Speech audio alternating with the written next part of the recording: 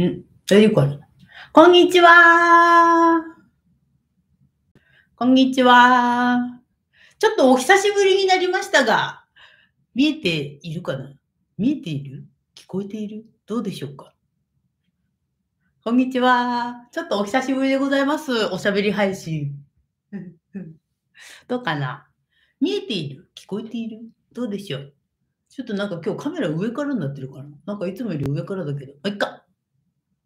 こんにちは。あ、どうも、こんばんはかな？あれでもこの時間で、もういっか。どっちだっけ？まあ、いっか。こんにちは。あ、見えている、聞こえているようですね。大丈夫そうですね。見え聞こで。ありがとうございます。リアクション助かります。ありがとうございます。じゃあ、あの、見えている、聞こえているようなので、本日もね、早速始めてまいります。うんまあ、ちょっとね、最近ちょっと私のおしゃべり配信がちょっと長くなりすぎだなっていうのをちょっと自分で反省しておりますんで、なるべくコンパクトにまとめながら、あの、なんていうか今日もね、ちょっと皆さんにお伝えしたいことをお話ししていこうと思うんですけど、本日お伝えしたいね、あの、そのお話っていうのは、まあタイトルにはありますように、あなたに嬉しい連絡が来ます。おめでとうございますっていうね、そういうお話でございます。うん。で、じゃあ、えっと、なんでこのお話をしようと思ったかっていうと、まあ、ただただ、ただただ、私自身が、あの、そういう状況に皆さんがなってくれたら嬉しいかなって思ったから、だからちょっとその、あの、タイトル付けをさせていただきました。うん。あの、やっぱり、なんていうのかな。まあ、嬉しいニュースが飛び込んできたりだとか、嬉しいお知らせっていうものが、やっぱり自分のね、その、なんていうのかな、元にそれがポンってきたら、やっぱり誰だって嬉しいじゃないですか。うん、なので、やっぱりそれっていうものがあった方がね、それ、なんていうか、まあ、あった方がっていうか、別にな、あってもなくても、あの、豊かな人生であることに間違いはないのかなって、まあそこに変わりはないのかなとは思うんですけれども、でもそれがあったら嬉しいっていう思いが、やっぱりある方もいらっしゃるんじゃないかなって、ちょっとコメントとかね、あの、ちょっといろいろ見返してて、ちょっと感じたことがあったんで、今日はそれについてお話をさせていただこうと思います。うん。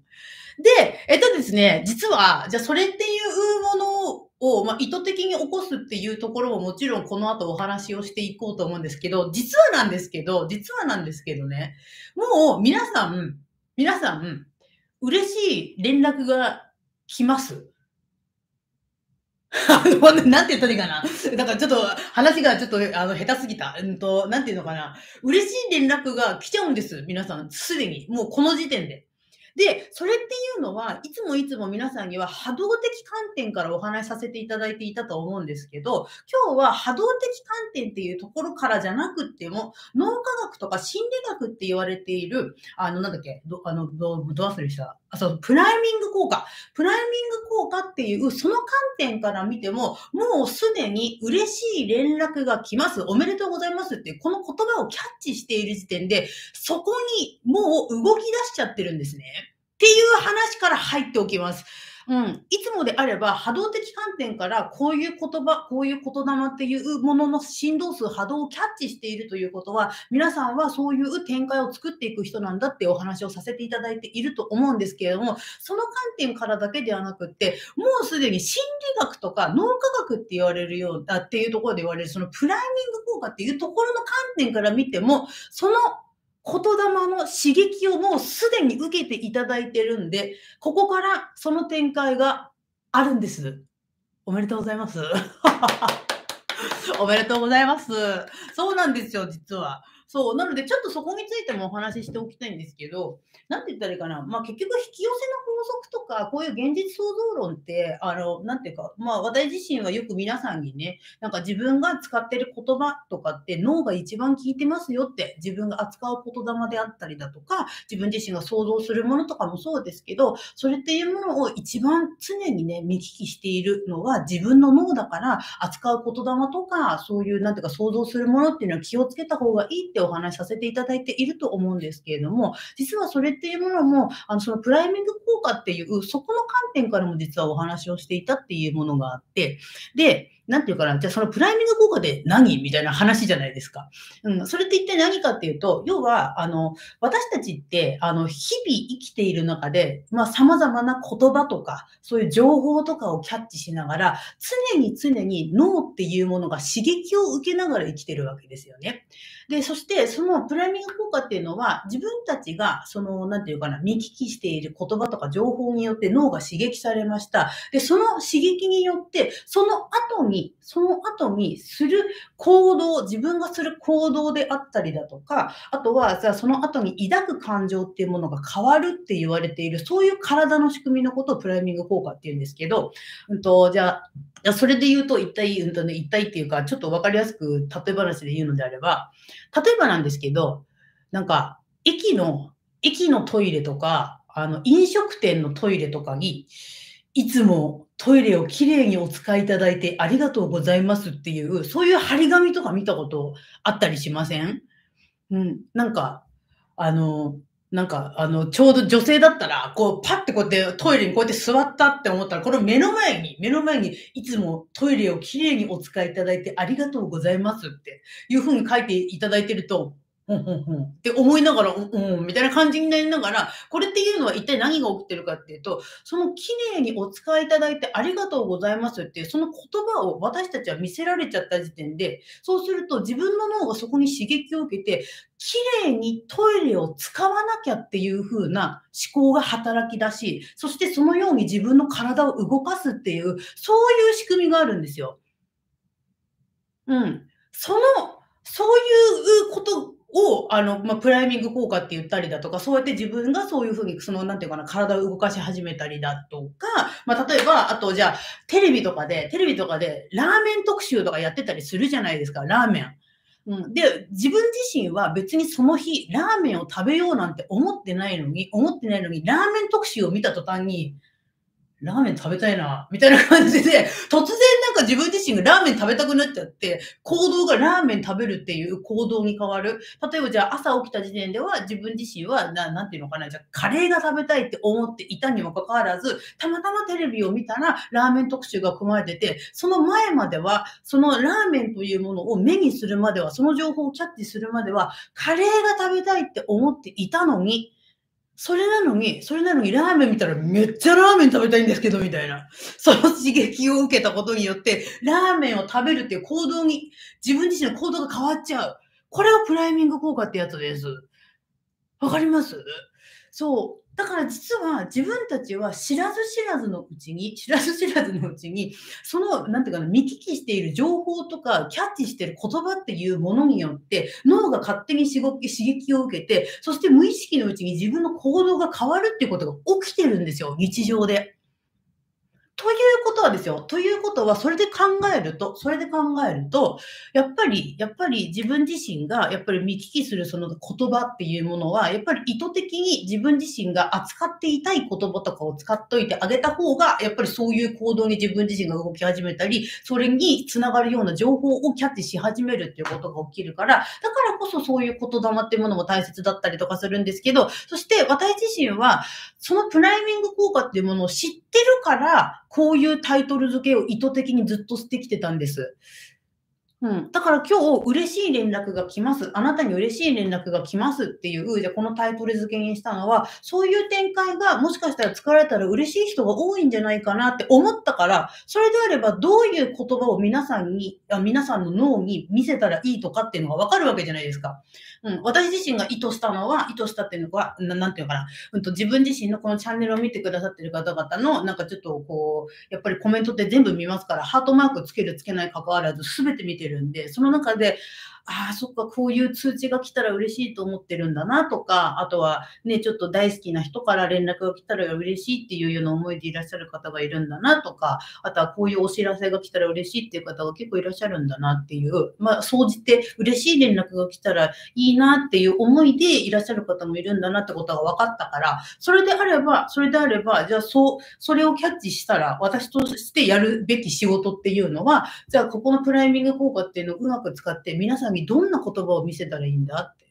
皆さんにどんな、そんな皆さんというよりは皆さんの脳ですよね。私が見せてるタイトルっていうのは実は皆さんというより皆さんの脳なんです。今までの私のタイトル付けずっと見返してもらったらわかると思うんですけど、私自身は皆さんの脳に対してずっと働きかけてるんですね。なぜかうまくいくとか、2022年すべてうまくいくとか、うん、なんかあなたは絶対うまくいくとか、これって実はあなたたちというか、あなたたちって言い方すいません。なんかすごい上から目線みたいだった。ごめんなさい。そういうことじゃないです。あの、皆さんっていうよりは、皆さんの脳に対してずっと働きかけてるんです、私。で、そして、その今回は、あ、嬉しい連絡が来たら、嬉しいと思う人が結構いらっしゃいそうだなって思ったんで、だから嬉しい連絡が来ますっていう、もうその言葉をビャってもう表に出したっていう、そんな感じです。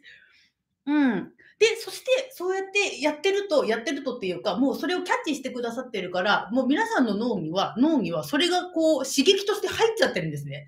え？私に嬉しい連絡が来るんですかと。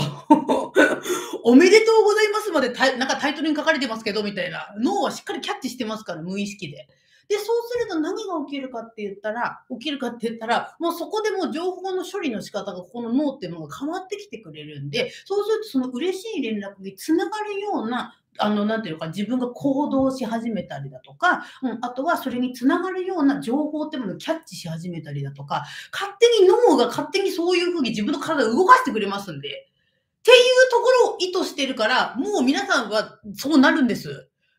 というわけで、おめでとうございます。っていうお話でした。伝わります？伝わるかな？そうなんです。だから、そう、脳に伝えてくれてたんだねって、あの、あやこさん。あの、そうなんです。実はですね、私の、あの、なんだ、タイトルっていうものは、あの、ずっと、まあ、特に去年末くらいからかな、そのくらいからかなり意識して、あ、もうマジでプライベング効果で行こうみたいな感じで、ずっと似たような、皆さんは絶対うまくいくとか、すななぜか全てうまくいくとか、もうそれはもう意図的に皆さんの脳に働きかけてるんですね。もう脳よ聞いてくれと。これを勝手にキャッチしてくれみたいな。それで、でもそうすると、本当にご本人としては全くなんか意識してなくても、勝手にそれに合わせてこう、動き始めてくれるから、だから全然なんかなんていうかな、楽しみにね、なんかそのこの後のあの展開をしててほしいなっていう感じなんです。うん。そうそうそう、えっ、とね、小林真由美さんの騙す、まあそうですね、騙してるかな。うん、そうですね。脳をマネジメントしてる感じですね。脳をマネジメントする。っていう感じですね。うんうん、そう脳を意図的にコントロールしているというかの脳に与える刺激を実はコントロールしてる感じですね。うんうん、そうなのでもうすでにこれをキャッチしてる時点でもうあなたに嬉しい連絡が来ますとかってもうそんなのキャッチしてる時点でもうこんな刺激入っちゃってますから。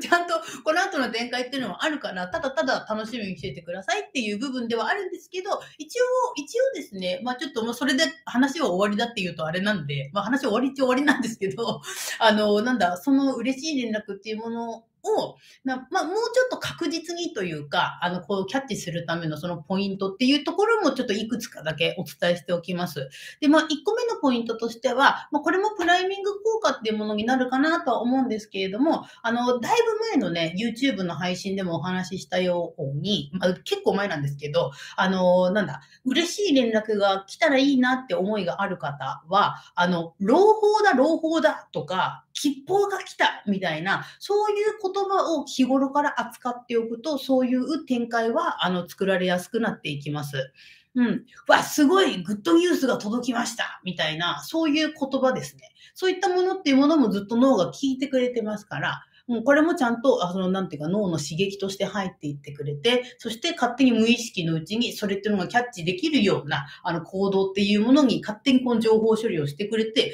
本当にその、あの、展開が作られるってことが起きたりとかするから、だから、朗報だみたいな、そういう言葉を扱うっていうことをやっておくのはかなり、あの、いいと思いますね。うん、私自身もこれはマジで口癖ですね。朗報だ、朗報だっていつも言ってる。なんでもない、なんていうか、情報も、わ、これは朗報ですな。わ、これは朗報ですなってよく言ってますね。でもそうすると、本当になんていうか、まあ実際朗報だし、自分が朗報だ、朗報だって言ってると、どういう情報も朗報になってくるし、そして、あの、本当に自分が欲しいと思っている、なんか朗報っていうものもキャッチしやすくなったりとかするんで、だからなんか朗報とか吉報みたいな、なんかそういう言葉っていうものも、あの、なんだ、気がついた時には使う、なんか実機 実験の意識ですね。実験の意識でそれを使ってもらうっていうのはすごくいいんじゃないかなっていうのがあります。うん。で、あとですね、あの、もしもできそうな方は、できそうな方は、あのその、じゃ嬉しい、その連絡が届いた時の自分の、その、体の状態って言ったらいいかな。姿勢っていうもの、もちょっと先取りしといてあげるのもいいんじゃないかなっていうのがポイントの二つ目になります。うん。もしも嬉しい連絡っていうものが届いたら嬉しいなって本当に思う方は、その嬉しい連絡が届いた時の自分の体の状態っていうものを今、先取りしといてあげる。うん。っていうことをやっていただくと、その創造性は上がってくるかなって思います。うん。なので、嬉しい連絡が来た時って、まあ皆さんリアクション様々かなとは思うんですけど、私は、なんていうかな、やっぱりね、嬉しい連絡が来た時って、おおいとかってよく言ってるんですよね。おい、ま、マジですかみたいな。とかって言ってるから、そういう口癖もそうなんですけど、あの、そういう時って、どちらかというと、やっぱり、なんていうのかな、背筋が伸びちゃうんですね。私驚くっていうか、嬉しい連絡とか、例えばじゃあ、こう、スマホとかをこう、見てて、メールボックスに入ってたりすると、うえーみたいな、ウィーンってこうやってちょっと伸びる感じあるじゃないですか。なんか、キヨーみたいな感じで。だから、それとかを自分で知ってるから、やっぱり基本的には、その姿勢っていうものをちゃんと伸ばすっていうことは、日頃で気をつけていきます。うん。そう。やっぱりだってパソコンとか見て、じゃあその朗報が届いてるとか、例えばじゃあ LINE とかを開いて、なんか、じゃあ好きな人から連絡が来たとかで、なんか、来たーみたいな、もうみたいな、なんか、ぎゅーみたいな感じになりません？その嬉しい連絡来た時になんかこのまま縮こまってる感じってあんまりないと思うんですけど、っていうことを理解していれば、どういう姿勢で自分自身が日頃をあの過ごしていった方がいいのかっていうのは分かってくるから、そしたらギューンってなるのが多いのであれば、基本的にギューンってした方がいいですよね。ギューンっていうか、ここをやっぱ広げたりだとか、あとは視線を上に上げる。嬉しいことを考えたりだとか、嬉しい情報が来てる時って基本みんな視線上に上がってますから。うん。あの、痛いとか悲しいとか苦しいみたいな、ちょっとそのマイナスのエネルギーっていうものとしてある感情を見てるときは視線が下に入りやすいんですけど、そしてここもこう、丸っこくなりやすいですよね。うん。ななんていうかな、ここ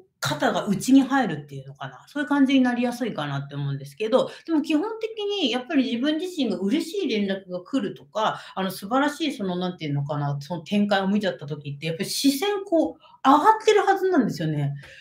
来たーみたいな。なんか、まあーみたいな。なんかそんな感じの、なんかそういう感じのありません？いやついにいらっしゃいましたみたいな。なんかそういうの。そう。そういうのを自分自身が、こう、何て言うかな、こう体感してる時の、やっぱその姿勢、体にアプローチをかけていくっていうのも結構大切だったりとかするんで、で、ちなみにこれも脳っていうものは、この姿勢っていうものも指令として捉えてたりするから、だから、この自分自身が、こう、なんていうかな、姿勢っていうものを、ちょっとこう、なんていうかな、こう、肩をこう、広げて、ちょっとこう、どっしりと構えるような感じであったりだとか、こう、ちょっと開く感じがあったりとかしながら、視線を上げて過ごすみたいな、そういう感じでいるっていうことをしていただくと、より、そのね、嬉しい連絡が来るっていうような現象が作られやすいかなとは思います。うん。ただですね、まあ、ちょっとここで、あの、なんて、なんていうのかな、注意点をちょっと、えっ、ー、と、一つか、ちょっとお伝えしておきたいんですけど、何日か前の、何日か前の、あのー、投稿、記事の投稿を見た人いらっしゃるかな。あの、私のこの YouTube のコミュニティっていうところ、動画じゃなくてコミュニティっていう記事の投稿ができるところに、うんと、3、4日前に、あの、ちょっと書いたことなんですけど、自分自身が、じゃあそういう現象を本気で作りたいって思いがある時に、うんと、例えばじゃあ今、今の話でいくのであれば、嬉しい連絡が来たらいいなって思いがあって、じゃあそうするためには、そうするためには、じゃあ今お伝えしたみたいに、じゃあその姿勢っていうものを、ちょっとね、こうなんていうのかな、その連絡が来た時の姿勢を先取りするといいよっていうのをお伝えしたみたいなことをこう頑張ってやったりとか、あとは、なんだ、その時の、なんだ、言ってるであろう、うわ、朗報だ、朗報だ、みたいな、なんかそういうことを言っとくといいよってことはお伝えさせていただいたんですけど、と、その記事の投稿でもお伝えしたように、と、その現象を作ろう作ろうとしすぎてしまって、ちょっと自分の波動を乱しているっていう状態になってしまうのはあまり良くないので、なので、うんと、その現象を作るために確かにやることではあるんだけれども、できることなのであれば、うんと、その現象が作られるための情報では確かにあるんですけど、でも、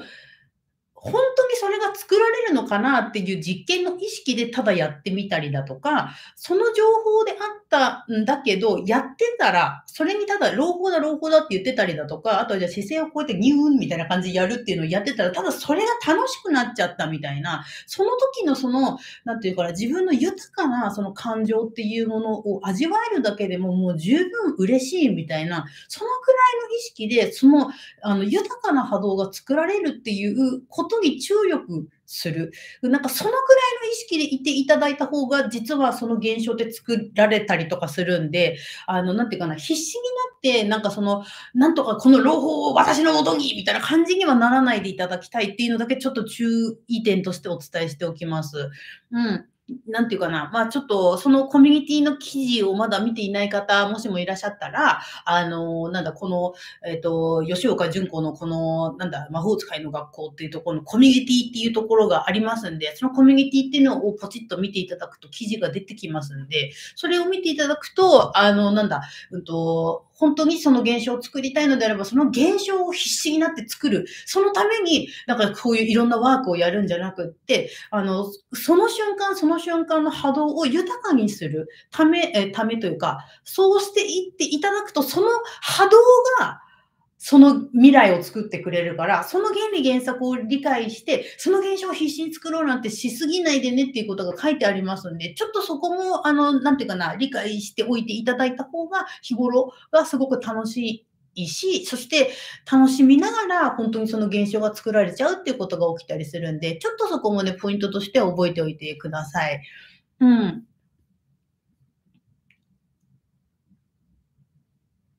おーちゃんさん、塩梅が難しいです。わかるわかります。塩梅難しいですよね。でもね、難しいって言ってると難しくなっちゃうから、あ、そうなんですねって、塩梅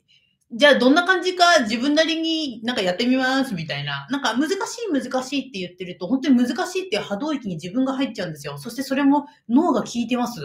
なので、簡単簡単って思ってた方がいい。塩梅っていうものもちゃんと自分であの体感としてどうせわかるんだろうな、みたいな。なんかそのくらいの感覚でいていただいた方がいいと思うんで、あんまり難しく捉えないっていうところ、もうちょっと覚えておいてください。ここで難しいって思っちゃうと、その思考のトリックに自分がハマってしまって、難しい波動領域に入っちゃったり、これは難しいという言葉をこの脳さんがずっと聞いてくれてますから、そうすると何を解釈するにも難しいなって感じなきゃいけないっていうところに自分が行かなきゃいけなくなっちゃうんですね。うん。だから、なんかとりあえずやってたらなんかわかんだろうな、どうせって。大丈夫、簡単、簡単って。そのくらいのそういう言葉っていうものもちゃんと丁寧に、なんか、なんていうかな、扱いながらというか、チョイスしながら、あの、その、なんだ、自分自身の、その、塩梅は、あの、こう、なんていうかな、キャッチしてあげてください。絶対分かってくるから。分から、分からないっていうのはね、絶対起きない。大丈夫、大丈夫。絶対大丈夫だから。うん。という感じで言っていただきたいです。そうなんです。あこさん、いいですね。簡単楽勝。ぜひ。そう、簡単楽勝いいですね。そうそうそうそう、簡単楽勝いいと思う。簡単とかもう楽勝とか、なんか、自分として、自分として、それであったらありがたいっていう言葉をチョイスしちゃった方がいい。意図的に。うん。だから、自分が望む現実っていうのを作るのは難しいっていうのって嫌じゃないですか。どちらかというと。それってあんまり起きないでほしいですよね。だ、だとしたら、それであれば、じゃあどうしたら嬉しいのかってことを自分にちゃんと問いかけてあげて、自分が望む現実っていうのは簡単に作れたら嬉しいって思うのであれば、やっぱりその言葉っていうものを自分がチョイスして、それを口癖にしちゃうとか、うん、あとは別に自分自身が意図しなくったって、あの、こういうふうな人生を歩みたいっていうものを別に意図しなくったって、それ以上の現象が作られるというか、それ以上の人生が作られたら嬉しいって思いがある方は、そういう言葉を丁寧にチョイスして口癖にしちゃう。それを脳に聞かせてあげるっていう、なんかそういう意識でいていただくと、より、あの、ご本人としては、あの、なんていうのかな。あの、本当に簡単にというか、思い通りのあの展開が作られてくると思うんで、ちょっとね、言霊っていうものは、あの、本当に丁寧にチョイス。自分がなんか、扱っていたい言葉っていうものを丁寧にチョイスしてあげてほしいです。うん。絶対皆さんならできるから。絶対大丈夫だから。うん。そうそう。山本恵子さん、大丈夫、叶うしかない思い通り。そうです。ほんとほんとほんと。ほんとそう。大丈夫、叶うしかない思い通り。いいですね。マジマジ。本当にそう、そういう言葉ですね。そういう言葉がすっごく大切になってくる。うん。できるできる。ほんとほんと。絶対できますよ、皆さん。絶対できる。あのー、なんていうかな、まあ、絶対できるっていうこの言葉っていうものも、まあ、私自身が、あの、今ここで言ってるのは、もうさっきも種明かししたように、皆さんの、あの、脳に実は言ってるんです。あなたという人は絶対できますっていう、この言葉ありますね。これっていうのは実は皆さんにも伝えてるんですけど、皆さんの脳にどちらかというと私は働きかけてるんですね。そのくらい本気なんです。ただ、ただ、私自身は、あの、その皆さんの脳に、本当なんていうかな、さっきのお伝えしたような、そのな、プライミング効果っていうところを理解してるから、その言葉を扱わせていただいていて、そして皆さんの脳にとにかく届けるっていう意識で言ってるんですけど、ご本人として、ご本人として、絶対できるって言われると、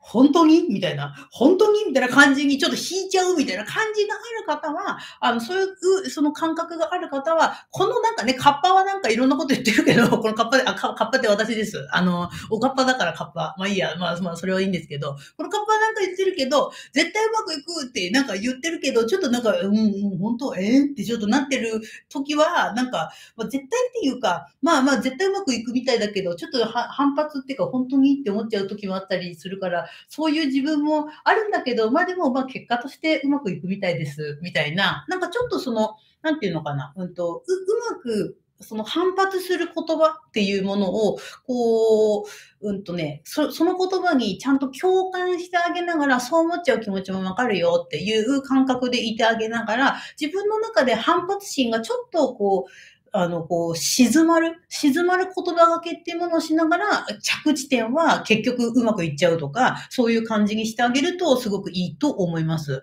うん。そうそう。私自身はとにかくその、絶対うまくいくよとか、絶対大丈夫だよっていうのは、本当に確信しているし、そ、それは本当に思ってるんですね。それは絶対的にそういう波動を持ってる人じゃなかったら、私の目の前に登場するなんてことはありえないって思ってるから、本気で。これは波動の法則、振動数のその法則として本気で思ってるから、だから皆さん絶対うまくいくってマジで思ってるから本当に言ってるんですけど、でも、それもそう思ってるし、でも実はそのプライミング効果っていうところの意識も持ってるから、もうとにかく脳にギャーンって聞かせるみたいな、うわーみたいな感じで、今届けてるみたいな感じなんですけど、でも、本人としてちょっと、おお、びっくりするみたいな、なんかすごい、何この派手なね、なんか、昔のビートたけしが着てたみたいなセーター着たおかっぱが、なんか、なんかすごい言ってるじゃん？みたいな感じになるっていう方は、なんか、なんかそうやって言ってるけど、なんかすごいなんかビートたけしのおかっぱがなんか言ってるけど、なんかそうらしいけど、そうらしいけど、ちょっとびっくり今しちゃってるから、そう思っちゃう気持ちもわかるけど、でも結局うまくいくみたいよ。みたいな、なんかそんな感じの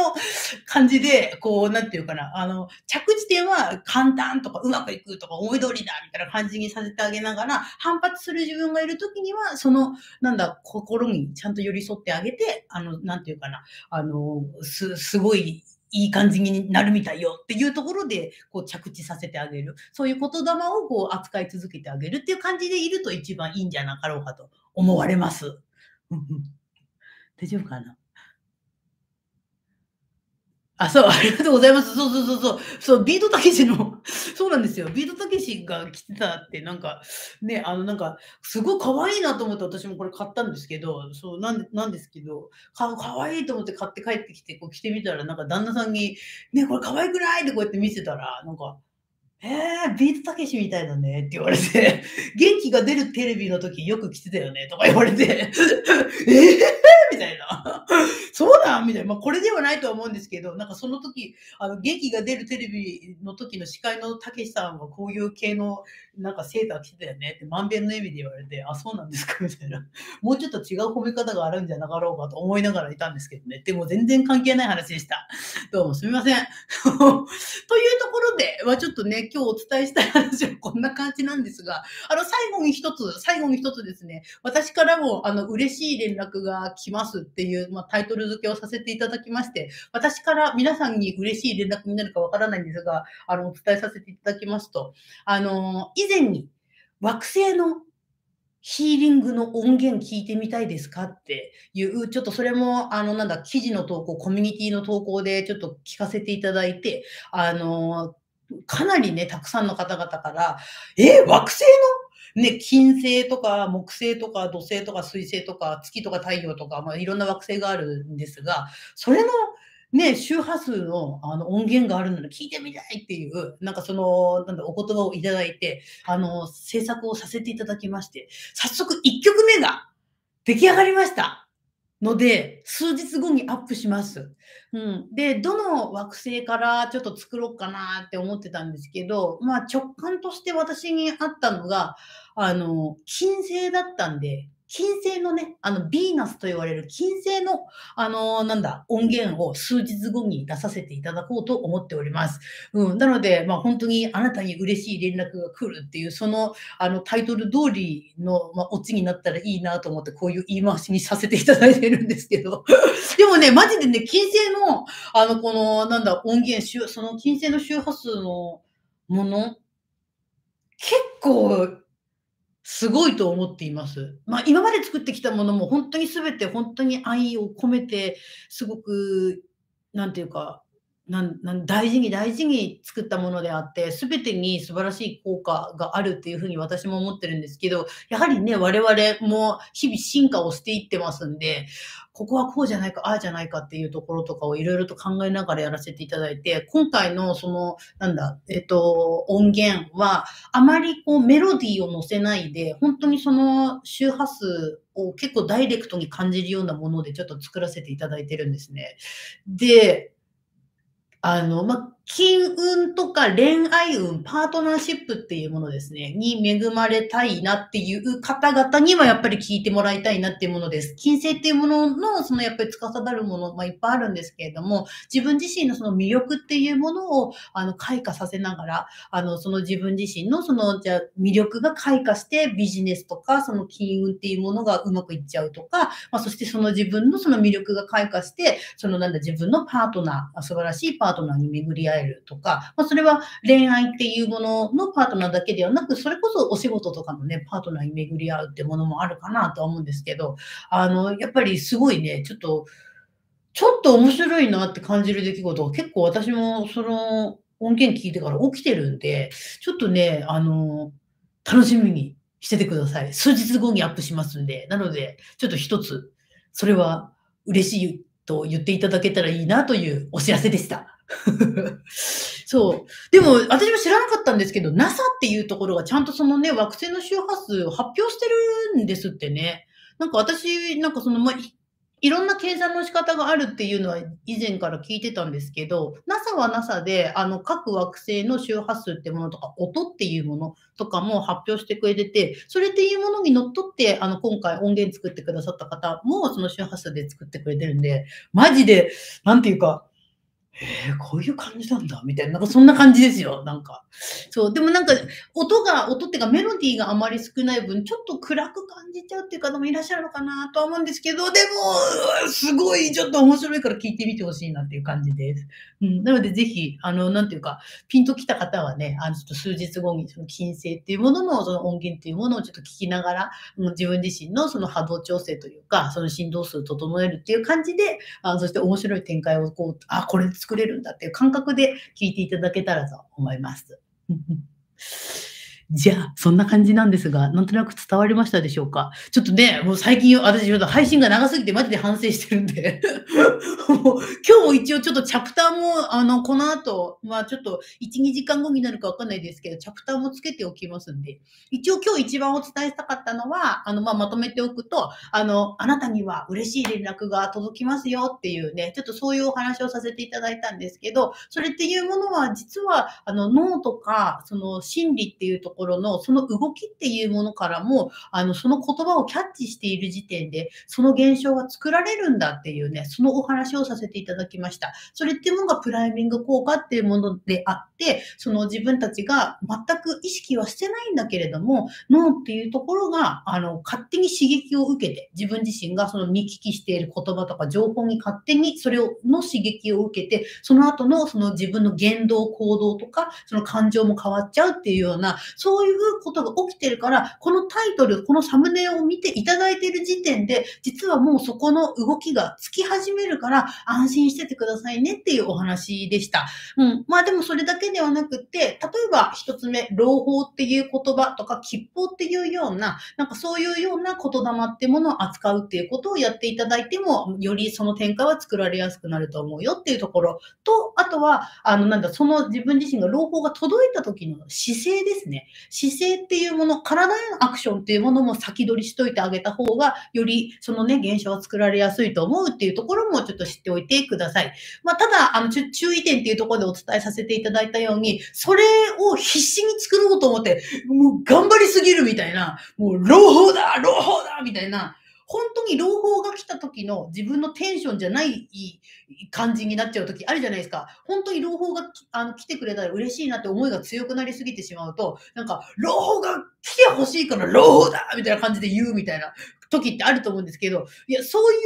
う感じじゃなくて、本当になんていうか、その、なんていうか、朗報だみたいな、そう、気合の朗報みたいな感じっていうよりは、本当にそれっていうものが作られた時の、わマジで来ちゃったみたいな、わあみたいな、それっていうのをただ楽しみながら、今という瞬間で体現するということ。そしてそれっていうものをやることによって、ただその瞬間が自分が楽しいって思うことが大切だっていう、そういうその注意点っていうところもぜひ知っておいてください。うん。そして、まあ、数日後にね、金星のその周波数の音も出させていただきますんで、それもちょっと、なんていうか、まあ、嬉しい展開を作るために、あの、ご活用いただけたらと思います。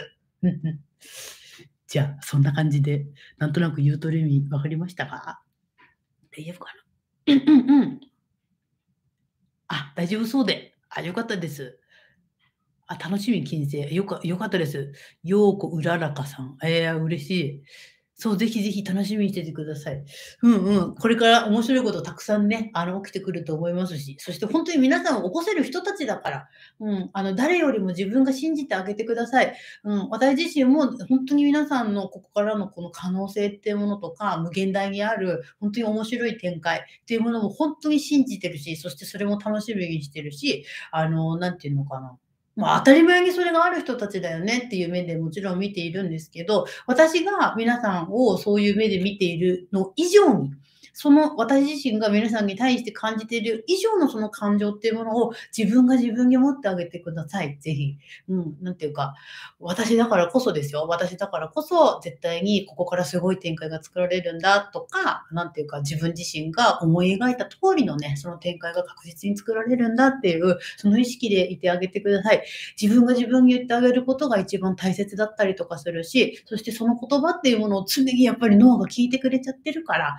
それも理解しながら、あの、なんていうかな、丁寧に自分が扱う言霊っていうものはチョイスしてあげて、あ、こういうふうな言葉を日頃から言っとこうっていうものがあったら、それをね、ぜひ使い続けてあげてください。じゃあ、そんな感じで大丈夫そうかな？ちょっと今回は間空いちゃったんですけど、またちょっとなるべく早めにというか、あの、お伝えっていうか、このおしゃべり配信もできるときにはしようと思ってますんで。じゃあ、そんな具合で、今日の配信は以上となります。いや、こちらこそありがとうございます。ありがとうございます。じゃあ、今日は日曜日かな？日曜日だよな。日曜日。だからね、また、あの、月曜日からお仕事の方もいらっしゃると思いますが、うん。まあ、なんていうか、楽しんでね、また一週間過ごされてください。ありがとうございました。うんありがとうございます。